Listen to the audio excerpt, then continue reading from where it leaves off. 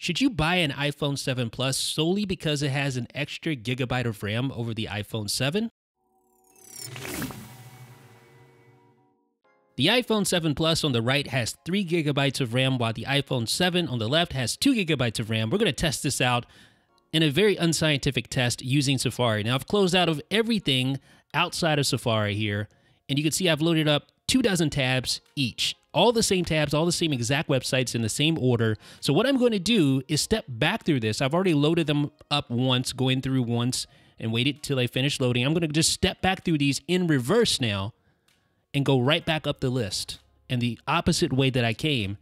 And we're going to see how long it takes before pages begin to refresh due to no longer being stored in RAM and that would indicate that there is a lack of RAM available. Now, of course, this is very unscientific, and memory management is much more complicated than what we just described there. But this gives you an overall general idea of what to expect. For instance, when I compared the iPhone 6 to the 6S, the 6S was the first to get two gigabytes of RAM in an iPhone. It was a major difference, it was very obvious from the jump.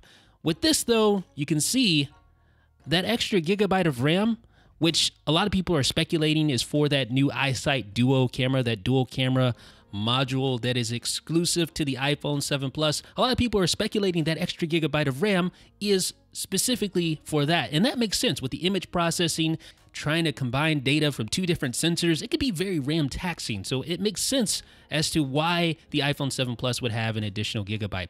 But here's the question Should you base your purchase on the amount of RAM contained in either of these devices? I'm going to say no, because up until this point, both devices have performed the same. And when pages start refreshing like they just did there, they're refreshing on both devices.